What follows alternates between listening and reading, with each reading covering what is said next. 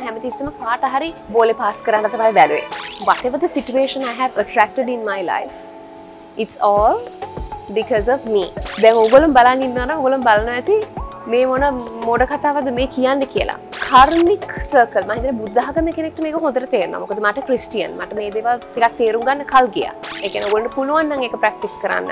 හැම දෙයකටම හැම අවස්ථාවකදීම ඔයගොල්ලන්ගේ ලයිෆ් එකේ ආයිමත් හිතා ගන්න බැරි විදියට හැම දේම ඔගොල්ලන්ට ලැබිලා යන්න පුළුවන් ඉහළම තැනට යයි ඒක මම මගේ ජීවිතය විඳිනවා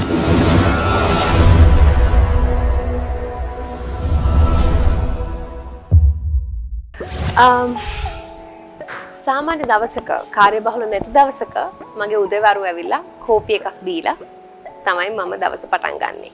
ඒතර විවේකීව ඉන්න දවසක විශේෂයෙන් මම කරන්නේ මගේ කෝපිය එක බොනම ගමන් මම ආස කරන පොතක් කියවනවා.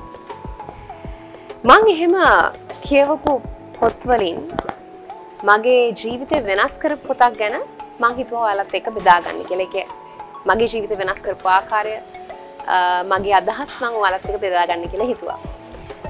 කෝපිය කෙනම් බීල පටන්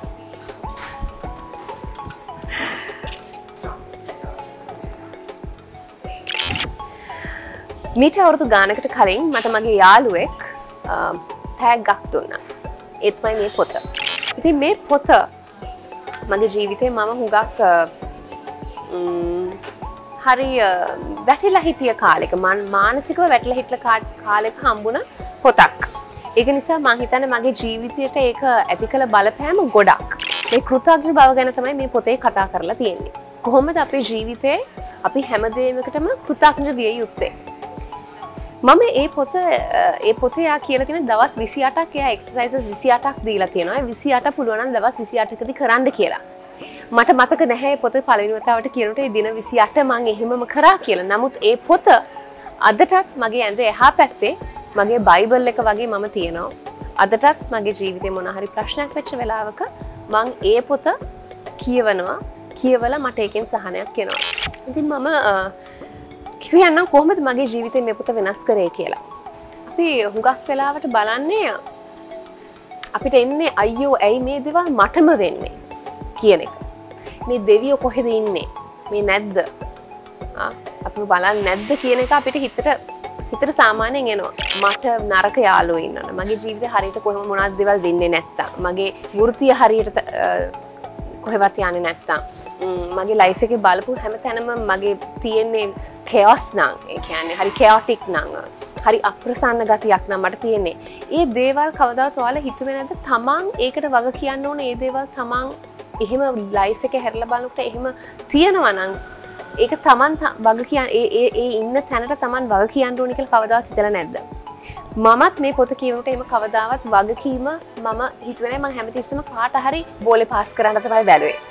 මේ අරය නිසා වුණ ප්‍රශ්න මේ මේ දෙවියෝ නෑ මේ හැමතිස්සම අනි පැතර තමයි මම බ්ලෙම් කරේ. නමුත් ඒ පොත කියවනකොට පළවෙනි දේ මම ඉගෙන ගත්ත අපි ඉන්න සිටුවේෂණ එක. whatever the situation I have attracted in my life it's all because of me. ඒකන මම තමයි රෙස්පොන්සිබල් මම දේවල් මගේ ලයිෆ් එකේ මම අසතුටුයි නම් මගේ ලයිෆ් එකේ දියුණුවක් නැත්තා මගේ ලයිෆ් එක කිසිදැක් නැත්තා ඒ හැමදේකටම වගකිව යුත්තා මමයි. මට වෙන කිසිම කෙනෙක්ට එක බ්ලේම් කරන්න බෑ. ඒතම මං ඒ පොතින් ඉගෙනගත පලවෙනිදේ to be able to take responsibility for your actions. තමන්ගේ ක්‍රියාවන් වලට තමන් වගකීම බාරගණ්ඩ ඕනේ කියන එක. දෙවනි එක තමයි. හැම්ම දේකටම මේක තමයි කරන්න අම්මාරුමදේ අදටත් මම තාමත් ඒක මාස්ට කරනවා. හැම්ම සිටුවේෂණ එකක්ම. අපිට සතුට තියෙනකොට අපිට හරි ස්තුතිවන්ත වෙලා හරි සතුට වෙන එක හරි ලේසි අපි සතුටෙන් ගෙනවා නමුත් අපි දුකේති හැමදේකටම ස්තුතිවන්ත වෙනවා කියන එක හරි අමාරු දෙයක්. මේ පොතේ කියන එක තැනකදී අපිට කෙනෙක් බැන්නා. අපිට කෙනෙක් මොනහරි නරක විදියට බයිනා මොනහරි මං ගැන කියලා.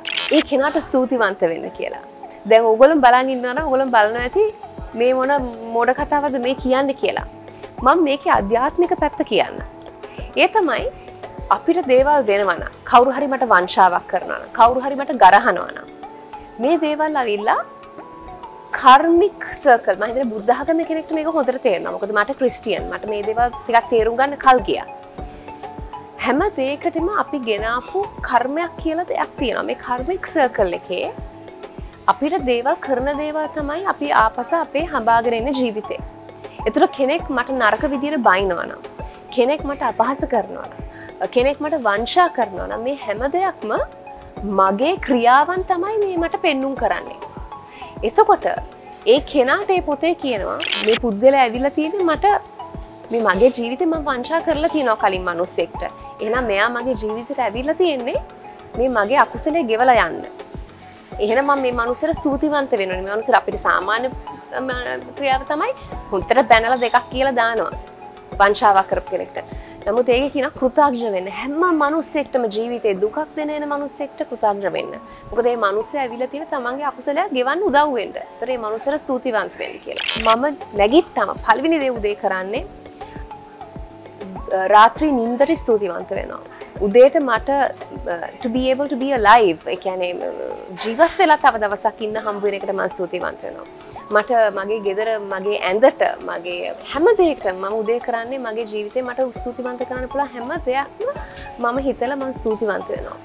මර මට වැඩ තියෙනවා නම් මම වැඩවලට ගියාම මම ස්තුතිවන්ත වෙනවා. මට චෙක් එකක් ගත්තාම ඒ චෙක් එකට මම ස්තුතිවන්ත වෙනවා තියලා තියෙන මට ෆයිනෑන්ෂල් ඉන්ඩිපෙන්ඩන්ස් එකට.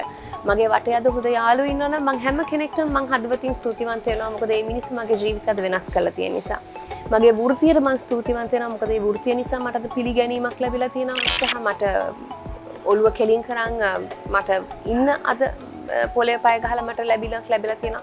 ඉතින් මේ හැම දෙයකටම ජීවිතය ස්තුතිවන්ත වෙනවා සහ දුකක් වෙච්ච හැම අවස්ථාවකටම මම ස්තුතිවන්ත වෙනවා. එක මං තාම මාස්ට කරනවා. ඉතින් මේ පොත මගේ ජීවිතේ සෑහෙන විදියකට වෙනස් කරා.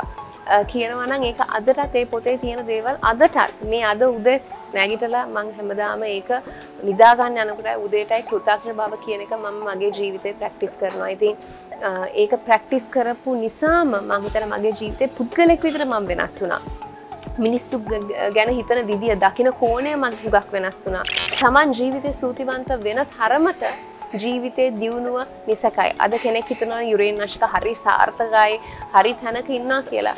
මං ඒකේ පළවෙනි ගෞරවය මේ ජීවිතේ මගේ වෙනස් කරපු පොතට අනිවාර්යෙන් යනවා. මොකද මේ පොත මැජික් by Rhonda Byrne. මොකද Rhonda Byrne කියන කතෘවරිය හුඟක් අපේ ශ්‍රී ලාංකීය මේ මොනාද හුඟක් පොත් කියවන කැමති කට්ටිය අතර හරි ජනප්‍රිය කතෘවරියා. මොකද ඇයගේ සීක්‍රට් කියන පොත ඉතාමත් ජනප්‍රිය වුණා. ඉතින් මේයාගේ තුන්වෙනි පොත මැජික් ඒක නිසාම මට මගේ යාළුවගේ ජීවිතත් වෙනස් කරන්න පුළුවන් වුණා. මගේ ෆීල්ඩ කියන්න යාළුවන්ට පවා ම මගේ මේ පොත ගිෆ් කරලා තින උපන්දිනයට ඔවුන්ගේ ජීවිත පවා වෙනස් වෙලා තියෙන ඉතින් කෘතාග්‍ර බව කියන්නේ ලයිෆ් එක ඇත්තටම මැජික් එක එකන ගොලට පුළුවන් එක ප්‍රක්ටිස් කරන්න. හැම දෙයකටම හැම අවස්ථාවකදීම ඔගොලගේ ලයිෆ් එක අයිමත් um, හිතා ගන්න බැරි විදියට හැම දේම ඔගොලොන්ට ලැබිලා යන්න පුළුවන්. ඉහළම තැනට යයි. ඒක මම මගේ ජීවිතය අත් විඳිනවා විඳලා තියෙනවා සහත් විදිමින් පවතිනවා. මන් දන්නවා කවදරි මගේ ජීවිත කතාව මගේ පොතකට මම ලියන්න බලාපොරොත්තුවෙන් ඉන්නවා.